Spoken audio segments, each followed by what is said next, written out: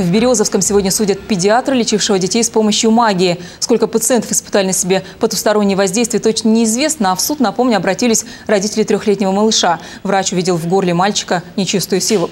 Галина Бескровная была на судебном процессе. Иван Борисович, вы сожалеете о том, что произошло? Вам ответ. Ответ – да. О чем конкретно сожалеет Иван Еремин, непонятно. То ли о том, что напугал ребенка, изгоняя из него бесов, то ли о нескольких месяцах, проведенных в психиатрической больнице. Там педиатр детской поликлиники проходил обследование после вопиющего случая на работе. Во время приема он едва не задушил своего трехлетнего пациента. Он был со странностями личности.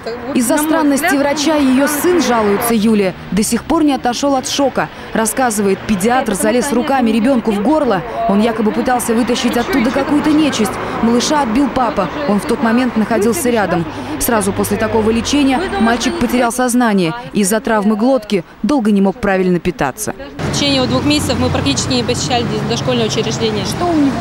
У него простудные заболевания, ветрянку мы тут подхватили на фоне сниженного иммунитета, то есть э, все различные ротавирусные. Родственники и коллеги его не оправдывают, но говорят, медика можно понять. От такой работы любой бы умом тронулся, а у Ивана всего лишь нервный срыв.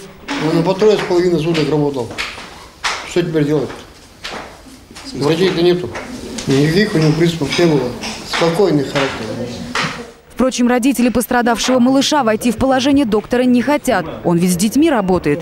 Претензии у взрослых накопились и к руководству больницы. Они, говорят, мама и папа, мало того, что не доглядели за своим сотрудником, но даже не извинились. Медики пожимают плечами. За что? Они не считают нужным извиняться.